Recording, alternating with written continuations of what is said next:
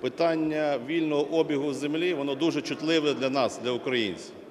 І тому до нього треба підходити досить ретельно. Народний фронт виступає за вільний обіг землі, який буде е, чітко е, врегульований чинним законодавством.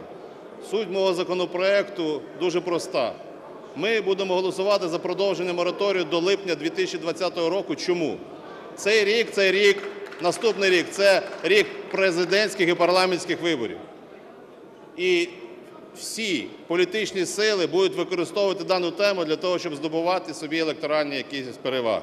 Тому ми вважаємо, що треба пройти і президентські, і парламентські вибори, сформувати тяжко вважаю, але буде сформована нова коаліція, буде обрано новий уряд. І в моєму законі е, прописано, що новий уряд повинен до березня 2020 року розробити законопроект про вільний обіг землі.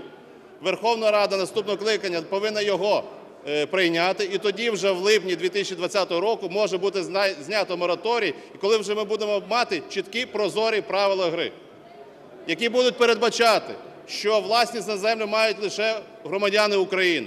Треба обмежити кількість землі в одні руки. Треба створити державне агентство, яке буде лише займатися посвідченням договорів купівлі-продажу землі, для того, щоб наші фермери і сільські господарства були захищені і змогли отримати можливість придбати землю.